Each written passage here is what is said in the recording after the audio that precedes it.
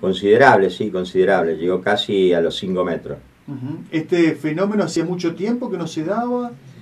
Eh, a 5 metros en estos meses sí, hacía como unos 6 años o menos que no se daba. Había hecho pico decreciente, pero no tan, había llegado a 4.20, más o menos ahora llegó a 4.85, que fue el pique. ¿Qué, ¿Qué, pasa con el río? Cuando, cuando crece tan abruptamente así, ¿cuál es el comportamiento del pescado? Bueno, paso a explicarte. Cuando fuimos con vos, justo fuimos en punta de creciente, con viento, peores condiciones no pudieron venir, frío, así de todo. Nos salvó el whisky, salvó la tarde. El pescado eh, se refugia en los pastos, en las lagunas ribereñas, donde no hay oleaje, viste el oleaje que había, y se queda ahí. Primero, porque tiene la comida, y segundo, porque en el bañado se levanta la marejada, la marejada levanta la arena, y lo que más le molesta al pescado es la arena en la galla. Eh, te paso a explicar, cuando los pescadores ponen los pescados en los cajones, vas a ver eh, a la orilla del río que los cajones tienen botellas. Es para que el cajón quede arriba, porque si va abajo, con la arena, el pescado se muere todo. Eso es uno de los temas. Ahora el río hace tres días que empezó a bajar, está bajando de 3, 4, va a bajar de a 11 por día más adelante.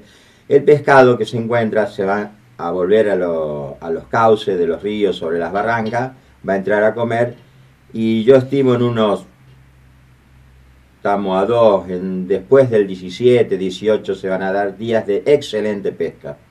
No nos olvidemos que el surubí grande, el surubí de 40, 50 kilos, va a estar bajando por el Paraná, como baja todos los años, por el medio del Paraná, a partir de septiembre. Baja todo por el Paraná por septiembre, junto con el armado, viene por el medio del canal, como quien dice jugando, se le ven las colas afuera, puedes preguntar a algún pescador experimentado que te lo va a contar, pasa septiembre, octubre, noviembre y diciembre alimentándose en nuestra zona de la popular boga lisa, que es la carnada que más le gusta, y ya para Navidad emprende el regreso hacia Itaibate y todos esos lugares donde va a desovar. Bien.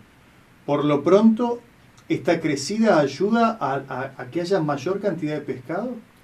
Sí, obviamente. Eh, estas crecidas son fenómenos naturales, como la naturaleza, digo, siempre es mucho más sabia que nosotros y nos pega donde más nos duele. Eh, son fenómenos que ayudan y mucho a la proliferación del pescado y al ecosistema hermoso que nosotros tenemos con camalote, con todo eso, donde el pescado se refugia y nace suponte, no es el momento para ir a pescar estos días. No, eh, la pesca, como te dije, a partir del 17 de julio se va a dar muy buena pesca. Pero hay que esperar dos semanas. Claro, ahora va empezando de a poco a salir pescado y se va a dar muy buenos portes de boga, porque cuando entre a bajar se cristalice el agua y no haya tanta marejada, la boga va a estar en los lugares habituales que todo acá conoce. Bien. Cuando el agua está muy transparente, ¿significa que es agua de crecida? Es agua de crecida y te, te, voy a decir una cosa que pocos saben. En esta época, en la época de julio y agosto, eh, los fondos se enfrían y se produce una lama. La lama es, una, como un microorganismo verde que vos lo podés ver en los bebederos de los animales, ahora hay pocos, pero los bebederos de los animales que se hace con musgo verde, eso se llama lama. Eso se desprende del suelo y es muy rico, a la boga le encanta y es la comida predilecta de la boga. Bien. ¿La pesca es variada hoy? Digo, portes de amarillos. Bueno, ahora se van a dar, ahora en esta época se van a dar muy buenos portes de amarillo de boga y algunos moncholos. En excepcionales caso patí. El patí empieza a salir a partir de fin de, de fin de septiembre. Bien. ¿Con qué se debe encarnar aquellos que van a pescar? La, mejor opción es tripa de sablo fresca. Siempre, rosada, Siempre es la mejor opción. Para esta época sí, porque te explico, Freddy, la sanguijuela, lo que el agua está muy fría, se encoge y no la ve el pescado. Y aparte no desprende olor. En cambio la tripa de sablo desprende la grasa y el pescado va directamente a buscar la grasa y encuentra la tripa. ¿No es lo mismo tripa de sablo fresca que congelada? No, nada que ver. Nada que ver. Y eso que nosotros llevamos fresca y tampoco pescamos nada. Suele darse, ¿eh?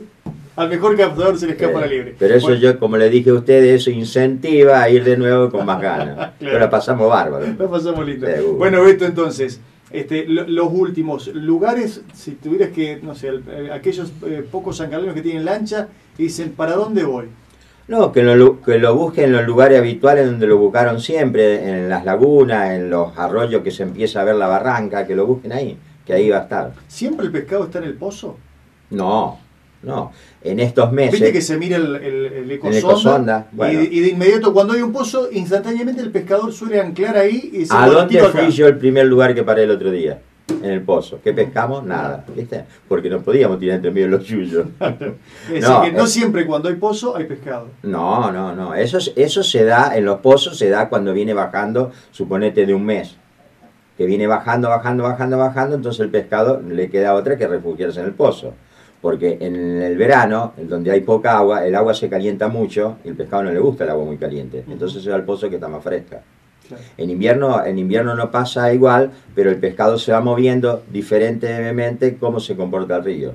Si el río crece, se va a ir a los yuyos, a los bañados, los lugares donde nos- nosotros llamamos estuarios. Si el río baja, se viene al, al canal. Bien. Eso es una cosa que pasó toda la vida.